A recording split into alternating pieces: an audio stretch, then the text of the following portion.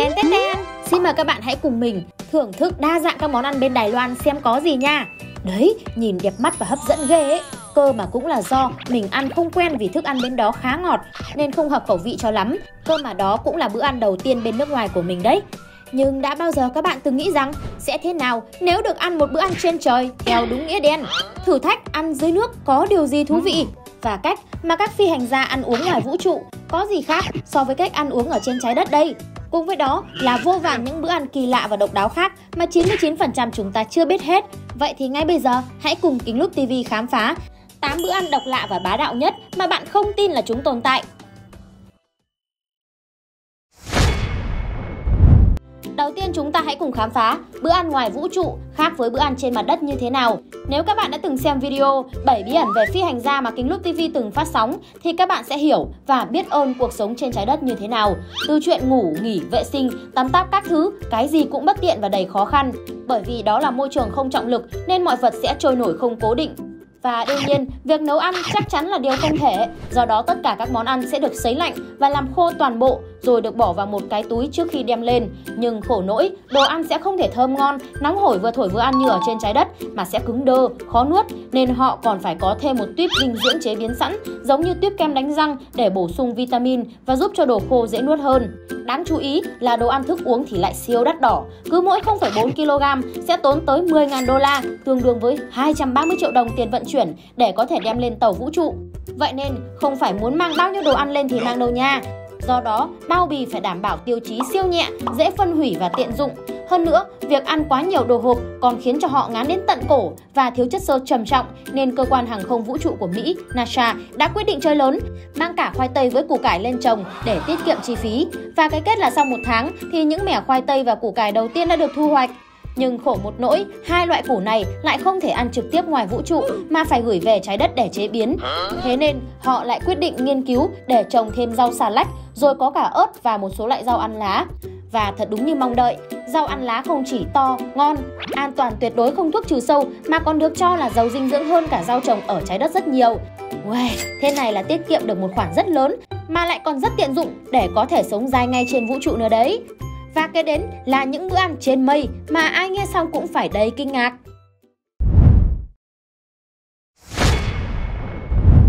Thứ hai, bữa ăn trên trời có thực sự chill như lời đồn. Không biết là có bạn nào ở đây từng được đi máy bay với những chuyến bay dài ngày, được ăn đồ ăn trên máy bay rồi ngắm mây chill chill thì đừng quên comment điểm dành ngay dưới phần bình luận nhé. Và đây, xin giới thiệu với mọi người về bữa ăn mà mình được hãng Eva của Đài Loan phục vụ khi sang đó du lịch và xem biểu diễn nghệ thuật Sandrine. Lần đầu tiên mình được ăn nên mình cũng thấy khá là ngon. Hay nói chẳng đâu xa, ngay tại Việt Nam chúng ta cũng có một nơi để bạn vừa được ăn lại còn được trải nghiệm cảm giác trả cái giá tiền trên trời. Đó là chúng ta hãy ghé ngay Landmark 81, tòa nhà cao nhất Việt Nam để được ăn bát phở chọc trời với cái giá 920 cành cùng vô vàn các món ăn giá xương xương cũng phải gấp vài chục lần so với đồ ăn dưới mặt đất. Thế nhưng, hòa mình giữa mây trời một cách chuẩn bài nhất là phải kể tới nhà hàng trên trời theo đúng nghĩa đen này đây. Tại đây, một chiếc cần cẩu siêu to khổng lồ sẽ nâng tất tần tật mọi thứ từ bàn ăn cho đến thực khách, đầu bếp và hai bồi bàn lên độ cao khoảng 50 mét, phục vụ nhiệt tình trong một giờ với đầy đủ bốn món siêu mờ lem, bao gồm có món khai vị, súp, món chính và món trắng miệng nữa. Hiện, dịch vụ đã có mặt hơn 45 quốc gia và Bangkok là thành phố thứ hai ở Đông Nam Á triển khai sau Kuala Lumpur, Malaysia với chi phí xương xương khoảng 140 đô một người, tương đương với khoảng 3,2 triệu người đấy. Kể ra, ai mà sợ độ cao thì nên cân nhắc trước khi ăn nha. Còn bây giờ, hãy cùng Kính Lúc TV thử qua trải nghiệm ăn dưới nước xem nó có gì khác bọt không nào. Thứ ba, bữa ăn dưới nước có gì đặc biệt? Nếu các bạn vừa muốn đi bơi lại muốn ăn sáng chiêu chiêu ngay giữa hồ thì tại sao không thử ngay Floating Breakfast, bữa sáng nổi, được phục vụ ở rất nhiều bể bơi sang chảnh trên thế giới. Chỉ cần bạn yêu cầu, nhân viên sẽ đưa ngay cho bạn một cái bèo ú đồ ăn với đầy đủ trái cây, bánh, nước ngọt, sữa vân vân. Tha hồ vừa bơi vừa lôi đi ăn, lại còn có ảnh đẹp mang về. Còn nếu như muốn ăn lại vừa muốn có cảm giác sóng xô ào ào thì có thể trải nghiệm ăn ngay tại một nhà hàng ven sông Chao Phraya ở Bangkok nước Thái Lan. Mỗi lần thủy triều lên một cái, khách cứ ngồi ăn, sóng cứ xô, mà đôi khi bàn cũng trông tranh tí. Nhưng được cái, khách lại thích nên chủ nhà cứ phục vụ đều, thậm chí còn nhờ đó mà giúp cho nhà hàng khôi phục kinh doanh sau đại dịch Covid nữa chứ. Còn nếu như bạn chuẩn đại gia thứ thiệt thì phải thử ngay dịch vụ ăn uống dưới lòng đại dương sâu thẳm tại những nhà hàng đẹp và đẳng cấp nhất thế giới này đây. Điển hình như nhà hàng Naui Undersea, nhà hàng đáy biển Ita Maldives hay Cargo House của Nam Phi hay nhà hàng Oceano của Dubai vân vân. Ta nói vừa ăn hải sản tươi ngon lại còn vừa được ngắm cá mập, các loại cá bơi lội tung tăng, lại vừa thư giãn tận hưởng cùng gia đình. Mỗi tội cái giá phải trả cho một bữa ăn dao động từ 200 đến 500 đô la tức là sẽ dao động khoảng 5 triệu cho đến hơn 10 triệu đồng cho một người. Kể ra cái giá này cũng xứng đáng đúng không nào? Còn nếu như bạn thích hòa cá mình vào trong làn nước mát để ăn thì có thể đến ngay với thử thách như anh chàng này đây. Bước xuống bể bơi cái là có cả phục vụ ngay bên cạnh. Mỗi tội là ăn uống có hơi lạ lạ một tí. Vì ở dưới nước nên đồ ăn nó cứ lơ lửng bày tứ tung. Nên mà thôi, riêng cái kiểu ăn này thì mình nhìn là mình đã chịu rồi. Và ở đây có bạn nào sẵn sàng với thử thách khó nuốt khó nhai này Thì đừng quên để lại comment. Ăn luôn để xác nhận ý kiến nha. Và tiếp đến để mà nói về hương vị thơm ngon nhất Thì chắc chắn không thể bỏ qua một bữa ăn đặc biệt sau đây Thứ tư, bữa ăn ngon nhất là bữa cơm mẹ nấu. Quả thật, dù ngoài kia có bao nhiêu sơn hào hải vị, nhưng các bạn có công nhận với mình một điều là khó có thể ngon như cơm nhà mẹ nấu hay không? Còn nhớ ngày bé, thỉnh thoảng nhá nhem tối là cả nhà sẽ trải chiếu ra ngoài hiên, quây quần bên mâm cơm, trò chuyện trên trời dưới biển. Và thời gian trôi đi, những bữa cơm ấy dần thưa vì cuộc sống của những người con xa xứ, những đứa trẻ phải học xa nhà. Vì vậy mà kênh youtube Ẩm thực mẹ làm đã ra đời và mang tới cho chúng ta những bữa cơm mẹ nấu đậm tình thương, sự giản dị, mộc mạc đến chân thành. Mâm cơm mẹ nấu khi ấy chỉ đơn giản với nồi cá kho mặn, ít rau muống luộc chấm với tương, cơm cà muối lạc giang hay hôm nào sang sang thì có con gà luộc là hết ý. Giờ đây, với cuộc sống đô thị ồn ào, tấp nập bon chen, đến bữa cơm cũng trở nên vội vã. Thậm chí đến lúc ăn cũng mỗi người một cái điện thoại, chẳng ai nói với ai câu nào. Đến thời gian về thăm nhà cũng rất là ít ỏi. Nhớ cứ mỗi lần biết tin con về, kiểu gì bố mẹ cũng sẽ chuẩn bị mâm cơm đầy ú ụ bao nhiêu là món ngon. Có lần mình về trễ, đến 10 giờ khuya mới đến nhà, nhưng thật bất ngờ là mâm cơm vẫn còn nguyên, chưa có ai ăn cả.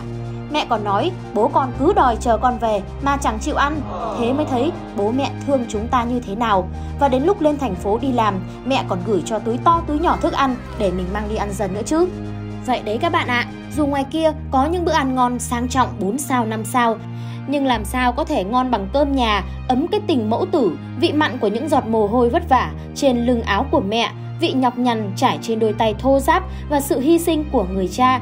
Tất cả đã tạo nên bát cơm của tình cảm gia đình thật là thiêng liêng và hạnh phúc. Do đó, hãy luôn yêu thương, luôn trân trọng từng bữa cơm bên gia đình khi còn có thể các bạn nhé. Và đồng thời cũng đừng quên để lại comment con yêu bố mẹ để gửi gắm tình cảm tới đấng sinh thành nha. Và tiếp đến là những bữa ăn muốn gì cũng có. Thế nhưng có lẽ lại là cái vị cay đắng khó nuốt nhất mà chẳng ai muốn thưởng thức trong đời.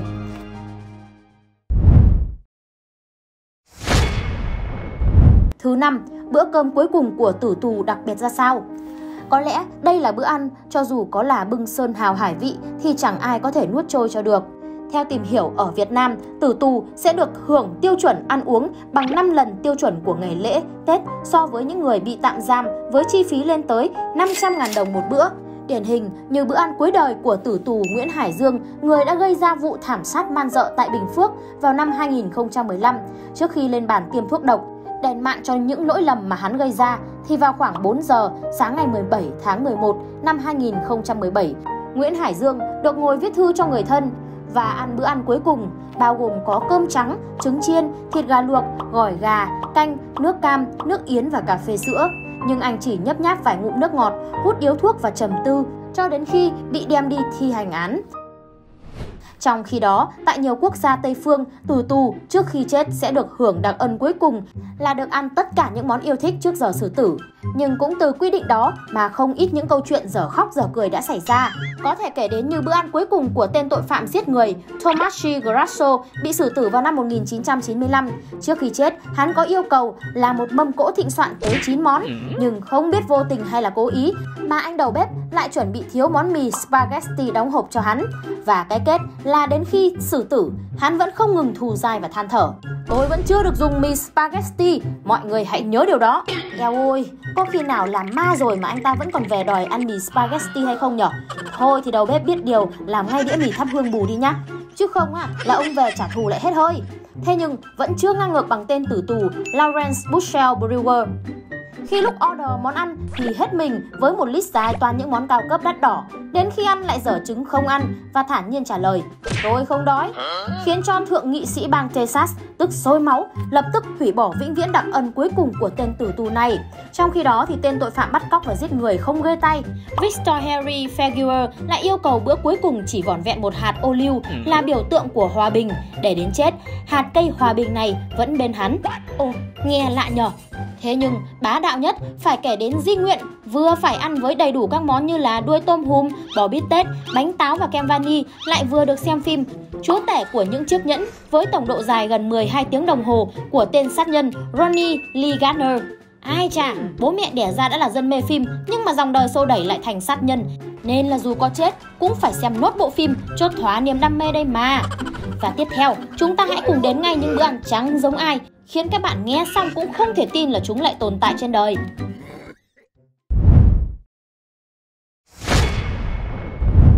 Thứ sáu, những bữa ăn không phải ai cũng dám thử. Trước khi bắt đầu nội dung ngày hôm nay, Kính Lúc TV khuyến cáo không một ai được bắt trước thói quen ăn uống này, kẻo hỏng dạ dày, đi cấp cứu như chơi đấy nha. Và ngay sau đây chính là những bữa ăn nghe đã thấy có mùi bất ổn rồi. Điển hình như người đàn ông Nhật Bản nghiện đồ ngọt này, ngoài thực đơn đều như vắt chanh là mỗi ngày uống hơn 6 chai coca 1,5 lít thì sau mỗi bữa cơm ông còn phải xúc miệng bằng một cốc nước pha đầy đường nâu mới chịu nữa cơ. Tính xương xương mỗi tuần, ông chú này sẽ phải ăn hết 15 kg đường, thậm chí đường trong nhà còn nhiều hơn cả gạo. Thế này thì tiểu đường sớm mất thôi. Còn đây chính là chân dung của người đàn ông nghiện ăn sắt hơn cả cơm. Michel Lotito Nhìn bề ngoài Lotito trông giống như bao nhiêu người đàn ông khác, chỉ trừ việc ông ta có thể ăn những thứ có thể gây chết người như là sắt thép, thủy tinh hay thậm chí là ăn cả một chiếc máy bay hạng nhẹ Cessna 150. Tính từ năm 1966 đến năm 2007, Michel Lotito đã ăn hết ngon lành một chiếc máy bay, 18 chiếc xe đạp, 7 chiếc TV, 15 chiếc xe đẩy hàng trong siêu thị, hai chiếc giường, hàng nghìn lưỡi dao cạo dâu, uống kèm với một chút dầu và nước lọc. Thế mà sức khỏe vẫn cứ chẳng hề hấn gì hết Thế nhưng có lẽ không đáng sợ bằng cô gái nghiện uống xăng có tên Shannon này. Theo như tờ The Sun, để thỏa mãn cơn thèm, Shannon phải nhấm nháp 12 thìa xăng mỗi ngày. Chỉ tính riêng trong năm ngoái, cô đã uống tổng cộng đến 18,9 lít xăng. Mặc những lời can ngăn của bác sĩ hay mẹ của mình, cứ lúc lên cơn thèm, Shannon có thể một mình tu cạn cả can xăng, khiến ai nhìn cũng phải khiếp vía. Ngoài ra còn vô vàn những người có sở thích ăn uống quái đản khác như thích ăn cát, ăn gạch, uống sơn móng tay hay là ăn lông mèo vân vân. Và theo Kính Lúc TV tìm hiểu thì những người này mắc phải hội chứng Pica hiếm gặp. Hiểu đơn giản là những người có sở thích ăn những thứ không phải là đồ ăn. U chà chà, kể ra cũng có những cái bệnh kỳ quái ghê các bạn nhở. Và tiếp đến chính là những bữa ăn của các idol mà ai cũng tò mò lắm đây.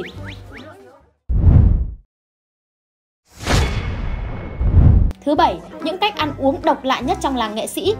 Nói thật là nhắc đến ca sĩ thì mình sẽ hình dung ra những cái bữa ăn vô cùng là healthy hay những buổi tập luyện sáng tối vắt kiệt cả sức thôi các bạn ạ.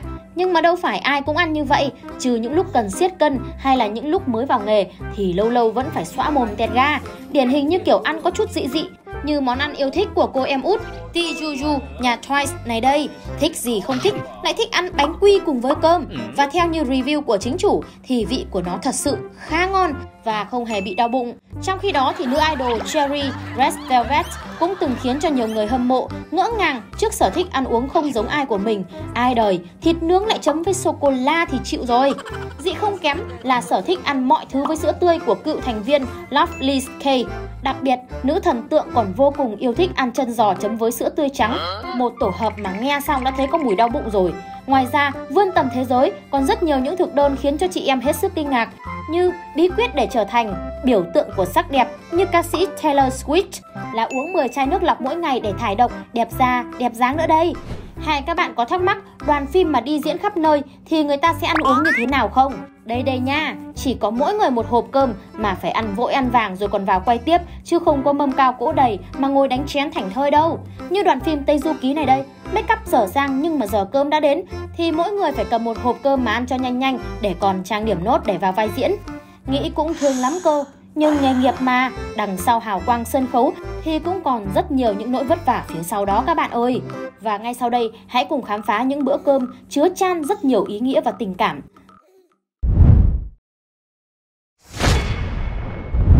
Thứ 8, những bữa cơm không đồng đầy ý nghĩa.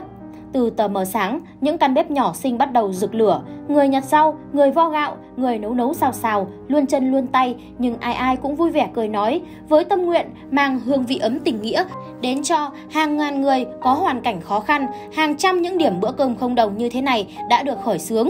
Từ những bữa cơm không đồng tại Bệnh viện Đa khoa tỉnh Thanh Hóa, trạm cơm không đồng ở phía trước cổng Bệnh viện Phục hồi chức năng quận 8 thành phố Hồ Chí Minh cho đến những câu chuyện bà cụ ngoài 70 tuổi vẫn còng lưng nấu từng bữa cơm không đồng cho người khó khăn. Hay đâu đó vẫn còn là những bữa cơm miễn phí dành tặng cho học sinh nghèo, học sinh vùng cao, những đứa trẻ nhỏ giúp bữa ăn của các em đủ chất hơn, cho các em được ăn những món ăn trong niềm hạnh phúc, chứ không còn là cơm trắng hay mèn mén như ngày trước nữa. Quả là những bữa cơm đầy ý nghĩa, tràn ngập yêu thương. Mong sao hoạt động này sẽ ngày càng được mở rộng để tinh thần tương thân tương ái sẽ được lan tỏa rộng khắp thế giới.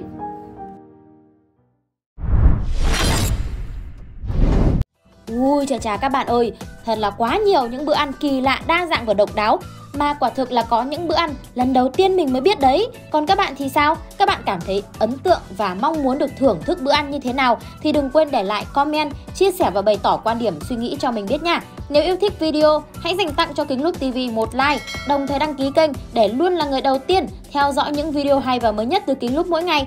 Cảm ơn các bạn đã đón xem video. Còn bây giờ thì xin chào và hẹn gặp lại trong những chương trình lần sau.